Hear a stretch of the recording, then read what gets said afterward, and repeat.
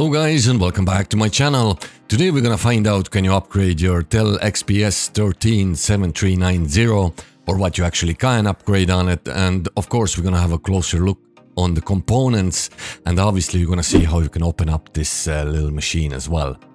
You need a kind of a special little screwdriver like I'm using there, it's called Torx T5. I'm gonna leave the link in the description if you're looking for a similar or same one. That's a great tool by the way, 57 in 1, so it's gonna be useful for other little jobs as well. You have to remove all the screws from the back panel. They're all the same size, so you don't have to separate them from each other. Just don't lose them maybe. And back panel comes off easy enough. Uh, just maybe under a minute and you should have it off. There you go, I'm using a little plastic tool like that there. If you don't have, I recommend even just use your fingers or something plasticky. Don't use knives or anything uh, made out of metal. You're just gonna damage your laptop or you're gonna leave the ugly marks on it itself or even worse, you can damage your fingers if you use a knife or anything like that. Back panel comes off easy enough. You just have to put little pressure there. And as I said before, under a minute then you should have it off.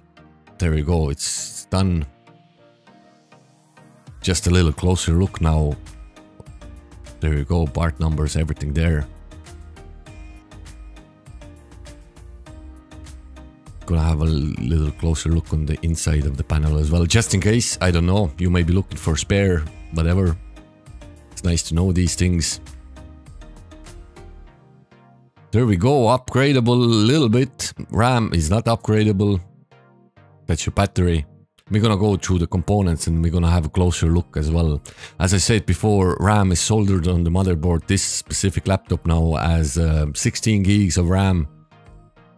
So if you if your laptop came with 8 gigabyte, you're stuck with 8. This is 16, so great. Solid state drive there. This is upgradable and we will upgrade that in a minute to 1 terabyte. That's your CPU under that there. It's Core i7 10th generation and your laptop could have a different configuration, different CPU. That's the very specific for this model or laptop now. That's your CPU fan. That's your Wi-Fi card. By the way, soldered to motherboard as well. Great Wi-Fi card, but uh, Wi-Fi slash Bluetooth. But you can't change that. Uh, it is soldered. So, but bad news if it if anything happens to that uh, you kind of have to replace the motherboard, uh, unless you're really good at soldering. There you go, closer look at battery now. Battery connection there as well. They're great little laptops. Just as for upgradability, not very upgradable, but still good news. Solid state drive can be changed or upgraded. Here's a closer look again now on components. That's your Wi-Fi card under there. The speakers, of course.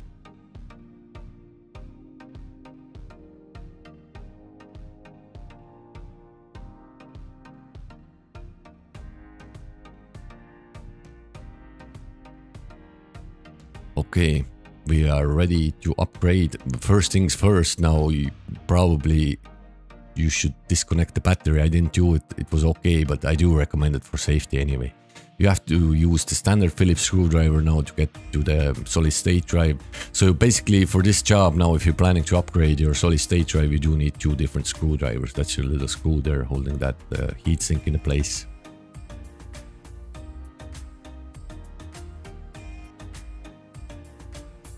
At the moment, there's a 512 gigs in it. Good drive as well.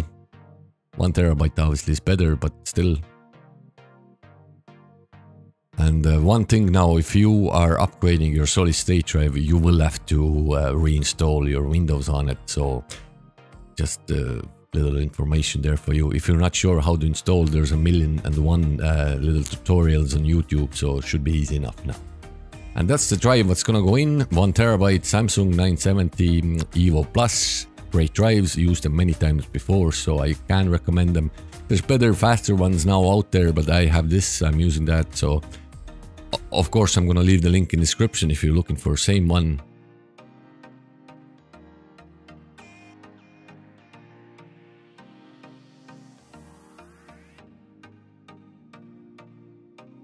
push it gently in there.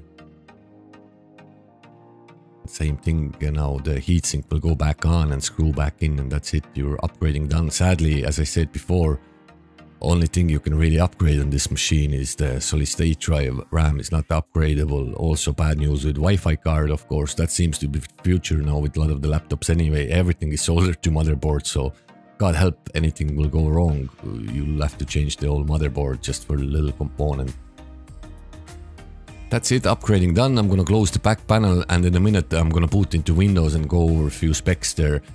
Just very briefly now, not gonna go into detail at all, just to show you what this machine has. And as I said before, your your laptop could have a little different uh, specifications. And swap the screwdriver again. And as I said, I'm gonna leave the link in the description. Great ones, they're cheap as, as well, so you can afford them. And it's gonna be useful either way, sooner or later.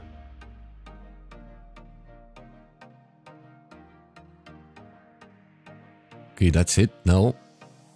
Just um, obviously after reinstalling Windows now, here we are. And just gonna go over very briefly now what's happening here.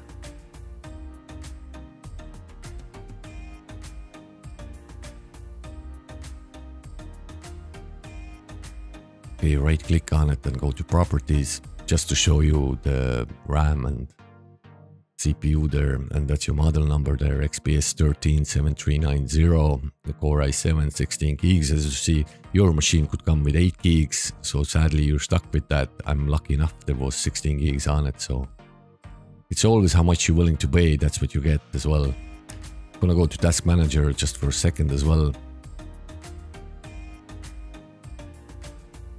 There you go, that's your Samsung 970 Evo Plus. It's working. Great drives, as I said before.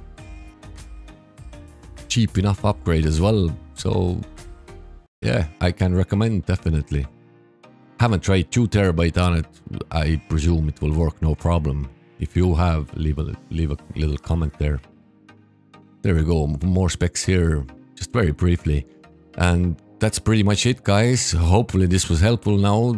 Sorry for bad news, I suppose. Not everything is upgradable, but still, as much we could, we upgraded. And if you liked the video, if it was helpful, do subscribe and uh, press the thumbs up, obviously, as well. So thank you very much. And you know what? Have the best life possible. Bye-bye.